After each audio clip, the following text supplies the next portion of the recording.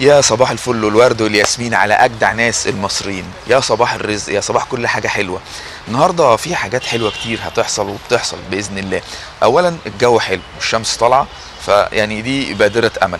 النهارده بتتجه أنظار العالم كله لمصر عشان في حدث مهم جدا هو افتتاح آه، حقل ظهر في منطقة أشروق في بورسعيد منطقة من آه، مناطق الامتياز البترولي في البحر الأبيض المتوسط. الحقيقة إحنا محضرين آه، كلام على حقل ظهر بشكل كبير علمي. هنشوف إيه امتيازات الح- الحقل دوت هيفيدنا بإيه؟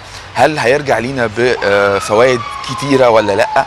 طب هيساعدنا في إن إحنا نحصل على يعني العملة الصعبة هي- هيوفر لنا عملة صعبة هيبقى في صناعات معينة هتشتغل تاني جنب استخراج آه، هذا الغاز وتسييله. يعني حاجات كتير قوي هنتكلم فيها وهنقدر إن إحنا نشوف الفيديو زي ما إحنا شايفين. آه يعني حقل ظهر الغاز الطبيعي بدأ تدشين أول ضخ لأكبر حقل غاز بالبحر المتوسط هيتم افتتاحه النهاردة. حقل ظهر اكتشفته شركة إيطالية عام 2015 ليكون أكبر حقل غاز طبيعي في البحر المتوسط باحتياطي 30 تريليون قدم مكعب غاز ليكفي مصر ذاتيا من استهلاك الغاز الطبيعي وبيمثل طبعا نقلة اقتصادية هي الأولى من نوعها في جمهورية مصر العربية. الحقل بيوجد في منطقة كبيرة في البحر الأبيض المتوسط اسمها شروق وبيعتبر الحقل من أكبر الحقول المكتشفة في البحر الأبيض المتوسط. بدأ الإنتاج منه في ديسمبر 2017 والاحتياطي المؤكد 30 تريليون قدم مكعب وهيتضاعف بإذن الله. الحقل دوت آه، هيضاعف ثروة مصر من الغاز الطبيعي. بيبعد عن بورسعيد حوالي 200 كيلومتر في البحر الأبيض المتوسط وعثرت عليه الشركة الإيطالية في منطقة البحر المتوسط على عمق نحو 1500 متر. وقد تم حفر البئر على عمق 4000 متر في المنطقة الاقتصادية المصرية في البحر المتوسط. هتستخرج الشركة نحو 1 مليار قدم مكعب في السنة الأولى للإنتاج وبترتفع تدريجيا حتى يصل إنتاج الحقل 2.5 مليار قدم مكعب في السنة في عام 2019 طبعا الإنتاج ده هيشكل نحو 40% من إنتاج مصر للغاز. وفقا للخطة حقل ظهر المصري سيص- سيصدر جزء من الغاز منه إلى أوروبا ودول الشرق الأوسط. وزير البترول والثروة المعدنية المهندس طارق الملا كشف عن زيادة كميات الغاز المستخرجة في حقل ظهر بنسبة 17% منذ بدء التشغيل وحتى الآن. وسترتفع الكميات من 350 مليون قدم مكعب غاز يوميا إلى نحو 400 مليون قدم مكعب يوميا بإذن الله. أوضح الملا أن تلك الزيادة سوف تصل إلى نحو مليار قدم مكعب غاز منتصف العام الحالي وبها تنتهي المرحلة الأولى من إنتاج الحقل بعد الانتهاء من إنشاء محطة استقبال وفصل ومعالجة الغاز المستخرج قبل ضخه في الشبكة القومية للغاز.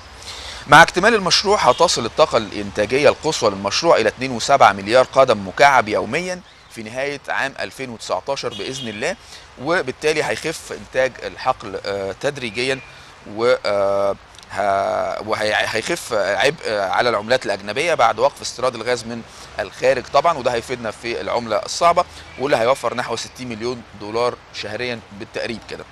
آه، الاكتفاء الذاتي لمصر من آه، الغاز هيوفر على مصر تكلفة شحنات الغاز المسال اللي كان بتصل فيها المليون وحدة حرارية ل 9.5 دولار مقابل 5.88 دولار قيمتها عند الحصول عليها من الشريك الأجنبي من مصر.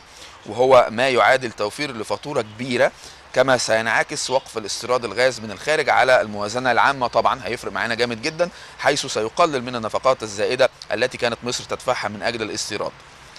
آه، الحقيقة بيساهم ظهر أيضا في زيادة الإيرادات عبر حصة مصر المجانية من الحقل والتي تمثل 40% من الإنتاج وتقدر مع اكتمال المشروع بما يعادل 2.5 مليار دولار سنويا لأن مصر آه، يعني آه، لأن شراء مصر حصة الشريك الأجنبي في الإنتاج الحقل سيحميها من تقلبات الأسعار العالمية للغاز. طبعا إذا ارتفعت لأنها هتضمن كده توفير هذه الحصة بمبلغ 5.88 دولار للمليون وحدة حرارية.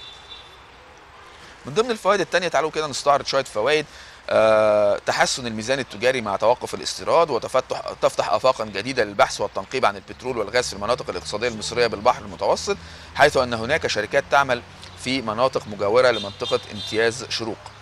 هناك سبع مناطق امتياز أخرى بخلاف منطقة شروق التي تشمل حقل ظهر آه، تعمل فيها كبرى الشركات العالمية هذه المناطق بها ما لا يقل عن 200 تريليون قدم مكعبة احتياطيا من الغاز وهو ما يغير طبعا خريطة اللاعبين في الطاقة بمنطقة الشرق الأوسط. زيادة الاستثمار الأجنبي المباشر بتأتي أيضا ضمن فوائد الإنتاج من هذا الحقل لأن حفر بئر واحدة من ضمن 20 بئر استكشافية المفروض أن تشملها خطة التنمية باستثمارات لعملية الحفر فقط تقدر بنحو ملياري دولار بما يعادل 100 مليون دولار لحفر كل بئر. إضافة إلى الوصول للاكتفاء الذاتي وتخفيف الأعباء على النفقات الدولارية لمصر ستشهد صناعات الكيماويات والأسمدة كثيفة الاستهلاك الطاقة نشاطا ملحوظا خلال الفترة المقبلة والتي تمثل قيمة مضافة للاقتصاد. ومن خلال تعدد عمليات التصنيع فيها تنتهي بمنتجات تستوعبها السوق المصرية ويمكن التصدير منها والاستفادة بالعملة الصعبة.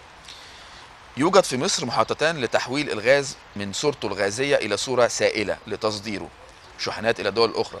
وتصل حصة الدولة في إحدى محطتي الإسالة إلى 24% والأخرى إلى 20% في الأخرى. ومع تراجع إنتاج مصر من الغاز الطبيعي خلال السنوات الأخيرة كانت طبعا تراجعت الطاقة الإنتاجية للمحطتين بشكل كبير. اللي إحنا عايزين نقوله من الكلام ده بإذن الله إن شاء الله دي فتحة خير وإن شاء الله وبإذن الله ها يعني آه هي الحقل دوت هيدينا آه فرصة كبيرة إن إحنا نوفر آه دولارات وملايين الدولارات ويوفر لنا العملة الصعبة ويوفر لنا كمان زي ما قلنا كتير من الصناعات يعني في أيدي عاملة هتشتغل في كتير من الاستثمارات يعني في شركات هتيجي كتير من فرص العمل للشباب بيوت هتتفتح. هو ده اللي إحنا عايزينه تنمية. كل اللي إحنا بنقوله ده ايكوال يساوي تنمية. إحنا بنحارب الإرهاب وبننمي بلدنا وبننتج وبنعمل كل حاجة. هو ده دي العبقرية في اللي حاصل في الفترة دي. إحنا عندنا تحديات كتيرة قوي قوي قوي لكن في نفس الوقت إحنا قد التحديات وفي نفس الوقت قد التحديات ان إحنا ننمي. سهل جدا ان انت يعني تبوظ لكن صعب ان انت تبني. آه فيعني ربنا يكرمنا يا رب بإذن الله ونقدر ان إحنا نكمل آه بشكل زي ما إحنا ماشيين كده بإذن الله. طيب عندنا النهارده فقرتين. طبعا في حدث مهم جدا حاصل على أرض جمهورية مصر العربية هو معرض الكتاب. هي معرض الكتاب السنة دي يعني عامل شغل جامد جدا جدا جدا ويعني هو فعالياته هتبقى في ضمن 15 يوم وهينتهي يمكن 10 فبراير. في فعاليات كتير جدا. في 27 دولة مشاركة 15 عربية 3 إفريقية 10 أجنبية. وطبعا تم اختيار الجزائر ضيف شرف للمعرض. هنتكلم كتير على الفعاليات دي وهنتكلم على حاجات بتحصل لأول مرة في الفعاليات دي. وهنتكلم على جهات آه لأول مرة بتشارك بحاجات معينة. يعني الخلاصة هقول لكم بس حلايب وشلاتين يعني عاملين شغل في في في مكان في في المعرض ده في فعالية خاصة بيهم طول أيام المعرض. دي حاجة مهمة جدا. آه حاجات تانية كتير جدا هنتكلم فيها مع ضيف الكريم دكتور هيثم الحاج علي رئيس الهيئة العامة للكتاب الهيئة العامة المصرية للكتاب. هيكون معايا ضيف كريم بإذن الله في مصر جميلة وهيكلمنا أكتر عن هذا الموضوع. من الحاجات المهمة برضو جدا اللي ما ينفعش إن إحنا نغفلها هو دور المكتبات العامة في تنمية الوعي والثقافة. الحقيقة ده يعني حاجة مهمة جدا وعايزين نرجع تاني نقرأ. عايزين أنا عارف إن في شباب كتير قوي أنا شخصيا بشوفهم لو أنا ماشي في الشارع أو على محطة أتوبيس أو محطة مترو قاعدين ماسكين كتب. ودي حاجة مبشرة جدا بالخير إن شبابنا بيقرأ وبيتثقف. وده اللي إحنا عايزين نعمله. إحنا نشتغل على نفسنا.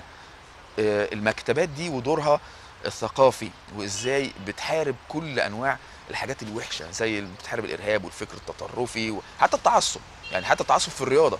لما يبقى عندك ثقافة ووعي أكيد هتبعد عن كل ما هو وحش أو كل ما هو تعصب أو أفكار إرهابية أو أو أو أو. هيكون ضيفي الكريم أستاذ رياض رضوان مدير مكتبة مصر العامة المتواجدة بالدقي. هيكون ضيفي موجود معايا بإذن الله عشان يكلمني عن أهمية هذه المكتبات ودورها وبتعمل إيه وفيها إيه و... وإيه بالظبط الأنشطة اللي بتدور فيها. دي كانت يعني كان استعراض بشكل يعني سريع كده لحلقتنا النهارده. وتعالوا بينا ناخد فاصل سريع ونرجع تاني عشان نبتدي بأولى فقرات مصر جميلة.